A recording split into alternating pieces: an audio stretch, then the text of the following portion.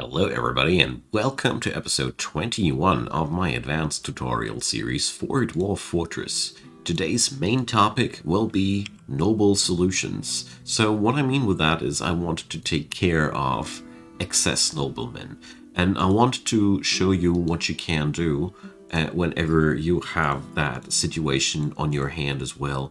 You know, it is just like that in Dwarf Fortress. Sometimes you have dwarves that actually nobody wants to have. Therefore, we're going to pick up a solution for that. Here in the last episode, we successfully inherited two barony titles that we totally didn't want to have, and therefore we have a really, really good opportunity to showcase that. So, the very first thing though that I want to do is I want to issue some woodcutting orders because our stockpiles of wood have ran practically dry. We have successfully entrapped a web-spitting monstrosity in our little uh, premises here. We successfully have brought up some elk birds that are permanently producing uh, new webs if we want to. So these things, be be they as it as they might be, we're going to go now for one very simple dastardly and ingenious solution for the nobleman problem. You know, the thing is, if you want to get rid of a nobleman, you always have to take uh, into account the fact that the noble person that we're talking about is actually important for the people. Oh, we have a uh, we have a artifact in the making. What I'm trying to say is, uh, if you are just killing them off directly, your folks will grow unhappy because of that, you know? It's just not right to do this. And therefore, we need to do this more creatively. So, two methods can be applied when you want to get rid of a uh, dwarf. Method one is that you just use the infamous Atom Smasher, and that's what we're going to do here in the first scenario. So we have this thing here, and now we just add in a new burrow here. It's quite, it's really dastardly. And now we assign the Baron in question. So let's see, we have, uh, we must find Azum Kirlolor and Tobul. These names, you know. So let's see hardest part is always to find the person in question, but uh, luckily they have the uh, title there standing out here. Baron of Glove released. So we're going to utilize this here. So the Baron of Glove released is now meant to be in that burrow. And it might now take a while for that guy to get there mostly because of the fact that if they had something to do beforehand, they're uh, they're not going to get there. So we are going to check out where that person is at. If I if I get the ability to. Dwarf Diagnostician Necromancer. Oh my god. We have yet another necromancer in our midst. Alright, I gotta take care of that dude. So it seems like my civilization is quite fond of necromancy. Sometimes it just happens, you know. But until then, let's see what our friend Tobul is doing. So, yeah, he, he froze in place. The moment I assigned that uh, burrow to him, he froze in place. Sometimes that happens, and it's uh, quite weird indeed. I mean, this is also a ways and means to get rid of your uh, of the dwarf in question you can't just easily um, you can't just easily um, let them stand somewhere or have them a uh, delightfully uh, catastrophical conflict with a uh, with a forgotten beast. That's totally uh, fine. It's just important that ideally you want to kill off the nobleman in question in a in a way that he or she is never to be seen and never to be found. So let's check out our clothier's workshop. Oh, that's looking out quite nicely. We have still that thing here for the new doctor's hall, so I did that a little bit in between the episodes, so we don't lose too much time to that. We have yet another guild hall that has been requested this time for the doctors, because obviously we have that many here in the fortress. I bet that the new necromancer that has arrived in town is uh, one of the new one of the new migrants that have recently hit town. So we have now we have now to look for one odd-colored dwarf. Here we go, Zuntir.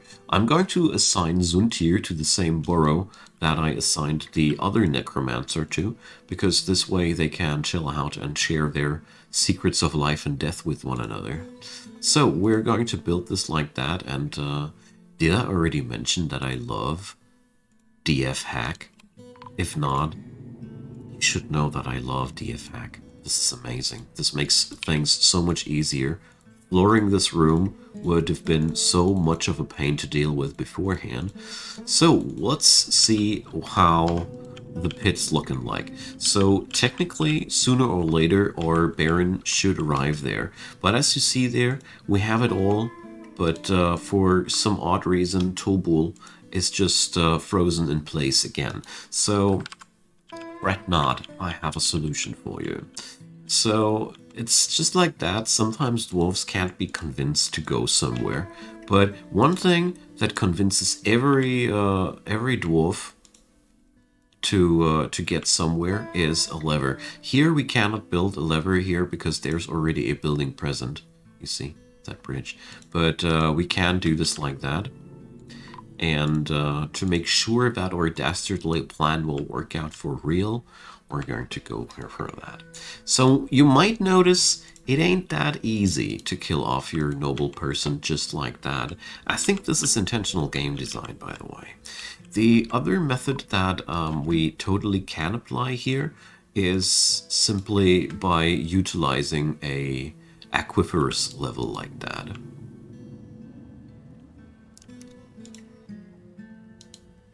So is that assigned to anybody? This is the manager's office, alright.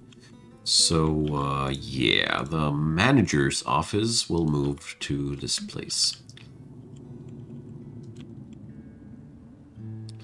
Meanwhile, I'm trying to take care of our food problem because the food stockpiles are plummeting downwards and downwards.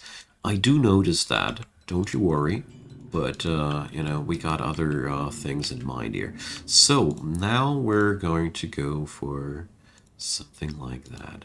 We're going to make it like that. We also need a hatch. Go. And we need another lever.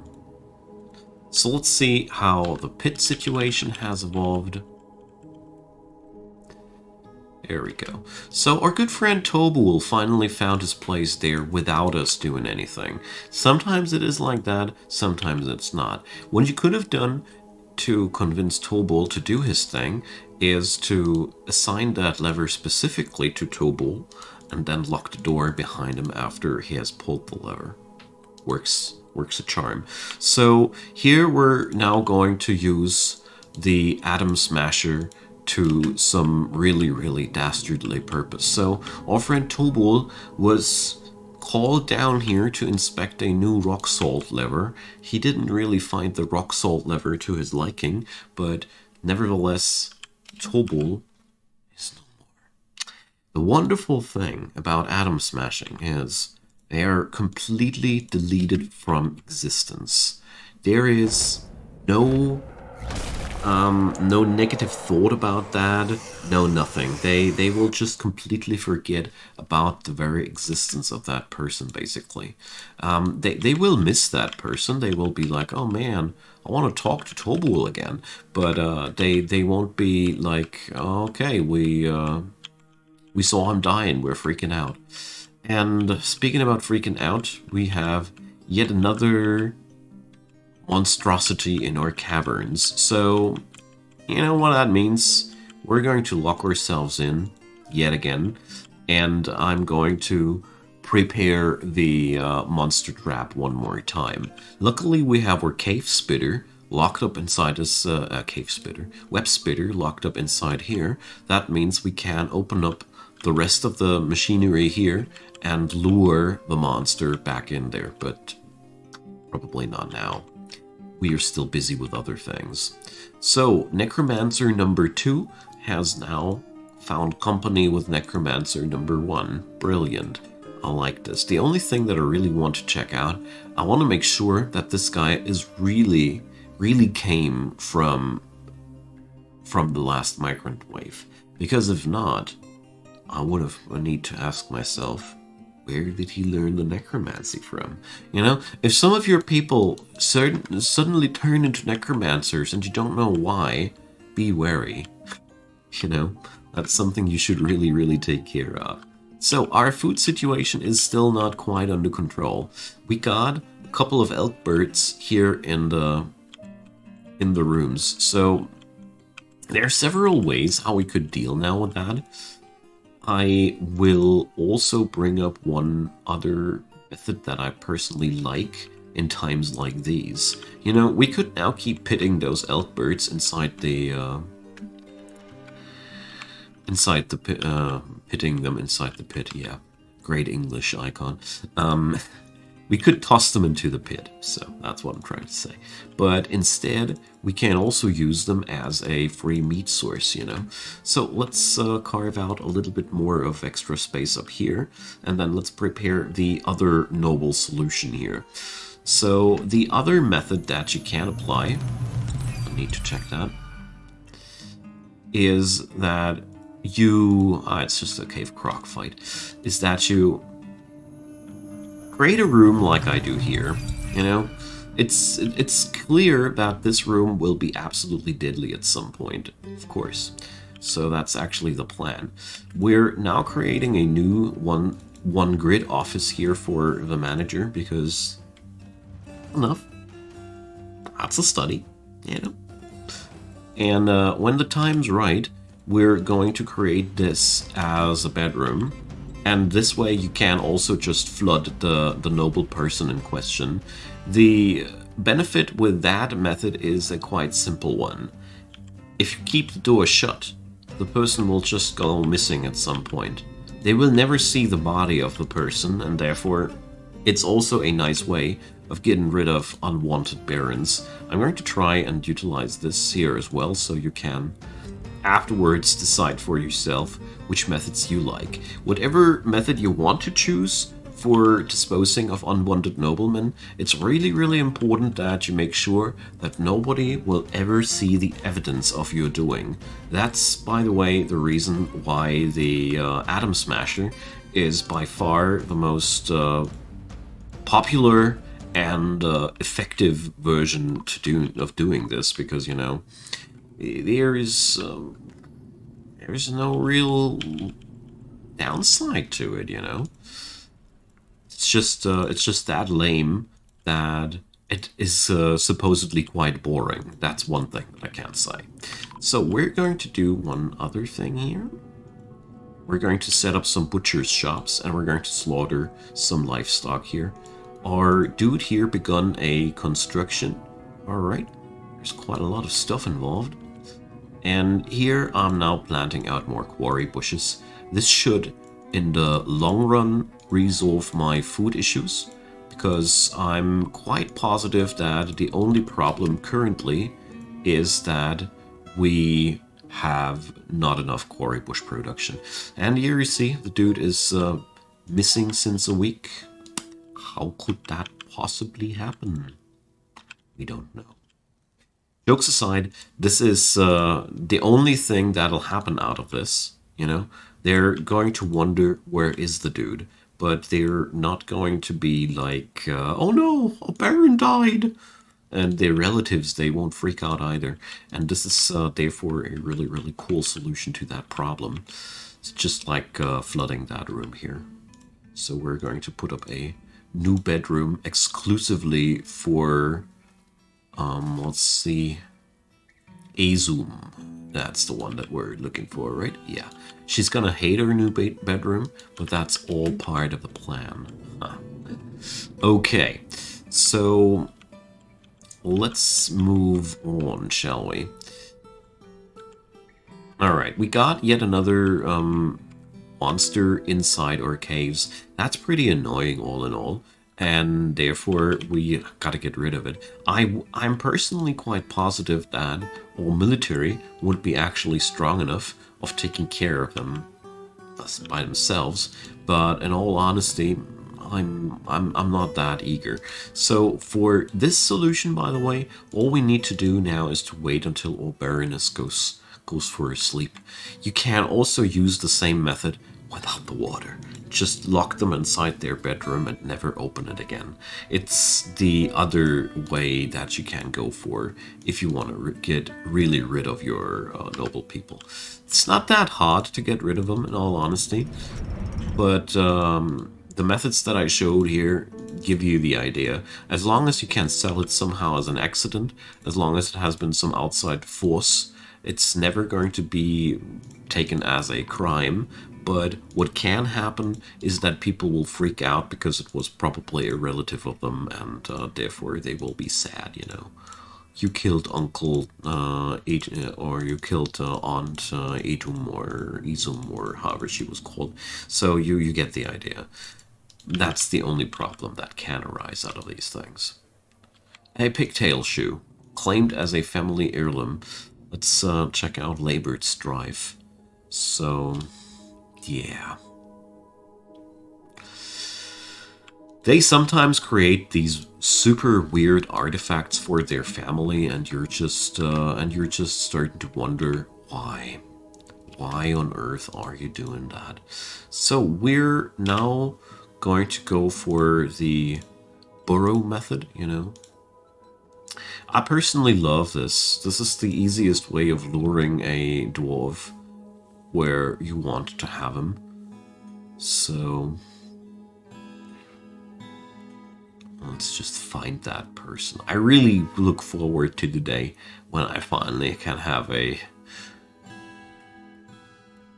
search bar in this menu here because this is uh, really really a a super painful way of uh, of finding what you're looking for. By now, I'm mostly looking for the uh, titles because I personally find it much easier to find people according to their title than anything else, but it's still not easy. It's still not easy, especially when you're uh, now looking for that person because you're luring that person to her death. So, here we go. So, she's currently sleeping in that room. Why are you...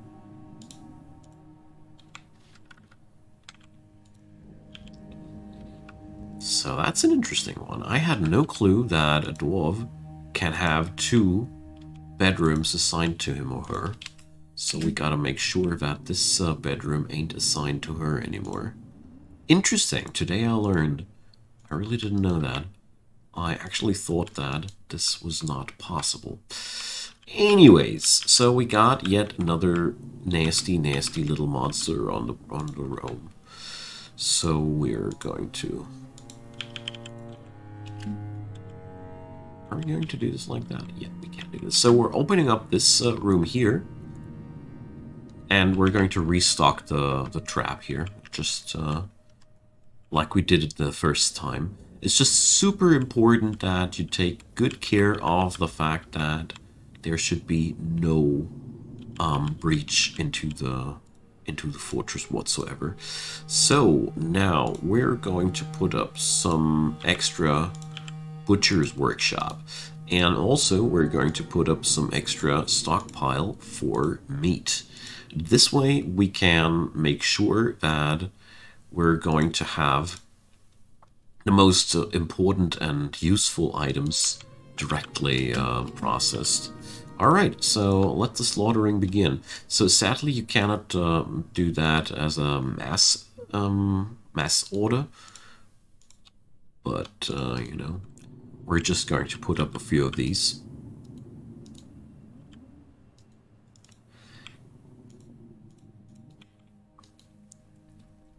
And then call some of the rookies.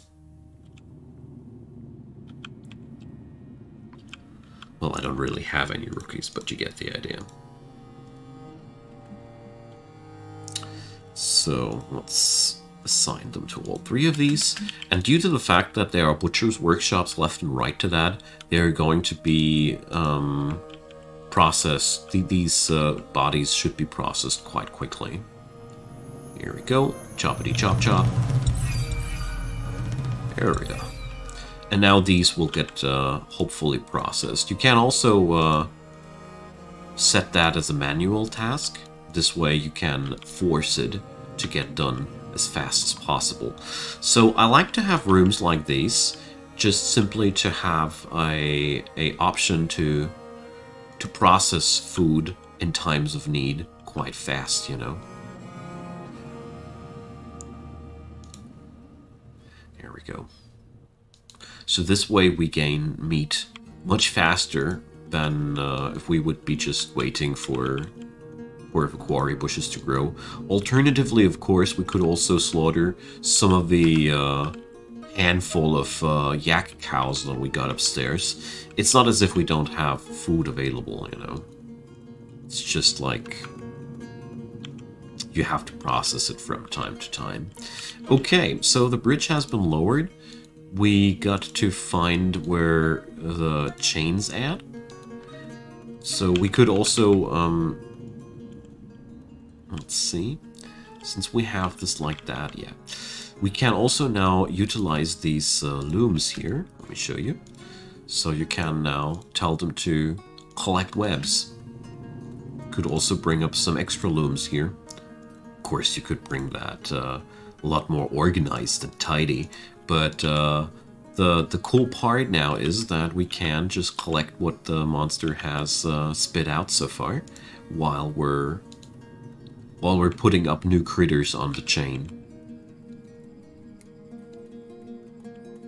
And since this area down here is the only accessible area for us for the web collection, there is no risk involved that they accidentally would delve into areas where I don't want them to go. So yeah, I, I really like this. I, I, really like this method of uh, web generation. I mean, it's not something you can pull off every time. You don't get uh, that lucky every time that you get such an uh, easy access to a web spitter like I do here. But at the same time, I personally think it's awesome, you know? I really, really think it's awesome. So these looms down here, well, all right, whatever. We're going to tell this one here to collect webs as well. And we're going to keep these up and running until there's no more um, web down here to be found. And then we're going to restock the trap. That's what I'm going to do. This way we got, uh, we, we utilize it fully, you know? Let's check back with the uh, Doctor's Guild Hall it's not there yet, so we're going to put up some statues for that place. We still got some bauxite. Oh, we have a statue of Tobul. That gives me a weird feeling. Is it the same Tobul? I, I, I bet it is the same Tobul. So, the lady here is standing in the wrong spot. That's because I draw I drew the burrow wrongly, so we need to delete that little uh, spot here. Because if she's standing on the door, it won't work, you know. So let's retry that. She's almost been there already. We basically just need to wait until she sleeps, and then the trap will spring to life. Quite dastardly. So I I feel like the Baroness is is uh, is aware of my plans. Like I said, you could have just uh, gone for a, a, simpler solution there. What you can always uh, do, of course, I haven't covered it yet, and I will cover it in a later episode still, but you can take the Barons and instate them when you're raiding a uh, another option here. You can conquer areas, and um, if you conquer an area, you always leave a certain person in place there to uh, to to manage that place. And quite easily said, you can take the Baron that you don't want to have, put him into the uh, into charge of that squad, and let him conquer a small ten goblin uh, pit or something like that. And this way, you got yourself a easy way to get rid of the Baron without getting rid of the Baron, if you get what I mean. And uh, that's personally, for me, one of my favorite ways of doing it. So here I'm now amping up the uh, amount of looms, because, you know, why not use what we have already collected here? And let's check back. Ah, here she is.